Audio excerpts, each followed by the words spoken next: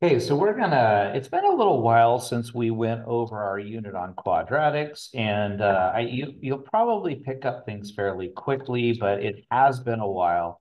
So our intent was to remind you some of those things before we add some new concepts and some new ways to approach quadratics. So we're going to spend a, a, little bit of time on the first three questions of a little review, just reminding us how to graph a quadratic. So one of the first things that we wanted to do is we wanted to look at our axis of symmetry. Some people will call it a line of symmetry, an LOS. Some people call it an AOS. It doesn't really matter, but it's some kind of a line of symmetry. And remember in these problems, the A value that we refer to here is the value that's sitting in front of the squared term. So in this one, A would be 1. In this one over here, A would be 2. B is the value that's sitting in front of the x term. So B in this case would be 6, or B in this other case would be negative 16. And C is our last one, which happens to be 11 or 31. And one thing to be aware of is that C is always going to be our y-intercept. So this number that is sitting at the very, very end is where the graph hits the y-axis. So in this particular first problem, I should know that the graph is going to hit the y-axis at 11. So 0 is going to be 11. I actually think it might be just a hair above the graph, but I might be wrong. But I think it's pretty close. And so we'll kind of see what happens.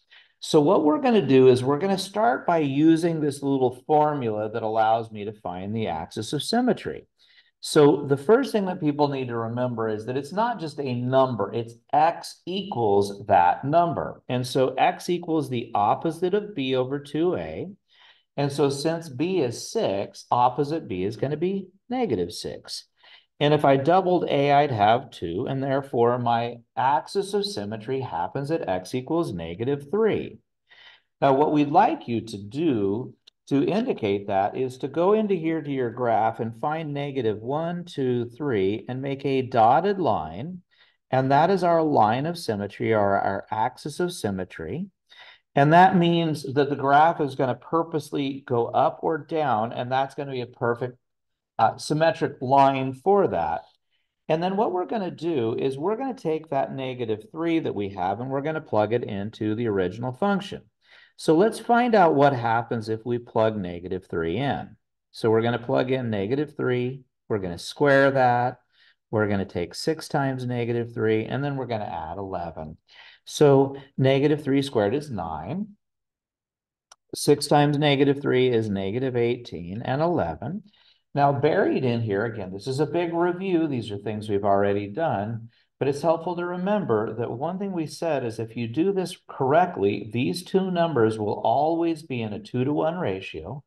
The second number will be twice as big as the first, and they will be opposite signs. So notice this is a positive 9 and a negative 18. If this had been a negative 9, that should have been a positive 18. And I don't want you to just write those down. I want you to think about it and see confirmation that what we're doing makes sense. Well, if we put those together, 9 and 11 make 20, and 20 minus 18 is 2. So when I plugged in negative 3, I got the number 2. So negative 3 gives me the number 1, 2. This value right here, negative 3 comma 2, is going to be my vertex. It's the bottom of that parabola. And then what we know is that as we move to the right, or the left from that vertex, notice I'm going up this way and down this way, um, we have a nice little pattern that said when we deal with a quadratic, we need to go up whatever a is, which in this case was 1, we're going to multiply it by 1, 3, 5. So since a is 1, 1 times 1 is 1, 1 times 3 is 3, etc. So if we go up 1 from both sides, we go up three from both sides. So that's going to be up one, two, three. That's going to be the number six.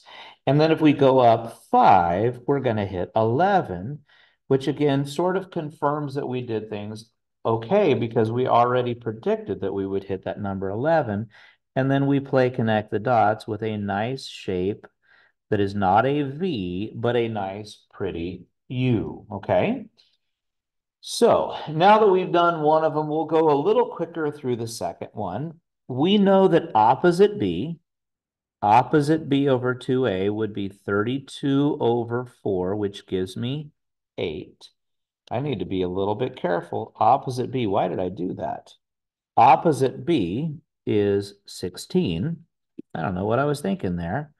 Over 2A, which is 4, is going to give me 4.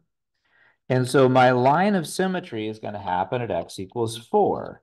So I think I'm going to come down here to x equals 4 and put a dotted line. That's going to be my folding line of symmetry. And I want to plug that 4 in.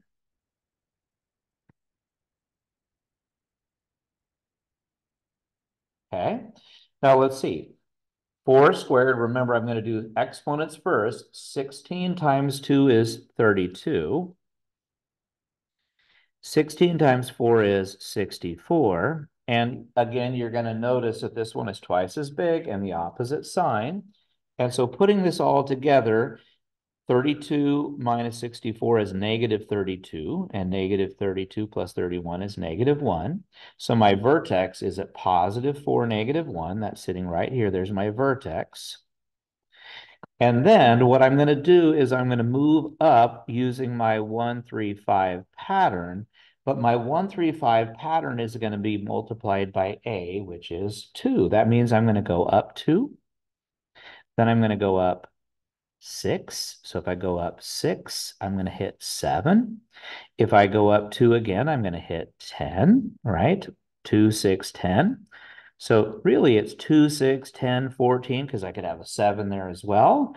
And so as I go up 2, and then I go up 6, and then I go up 10, these are the values that I should see as I recede away from that vertex. So let's see, I go up 2, then I go up 6, which is going to be right up here at 7. Now, I've already run out of room on this thing to, to do anything more. You'll notice it's a very steep graph because a value is bigger than 1. But we could do one more thing, and I did mention it because notice if I went up one more time, 14, I'd hit 31, which means if I went here, I'd be at 31. And see, that validates that what I was doing was correctly because we said that our y-intercept right here is the value where 0 happens.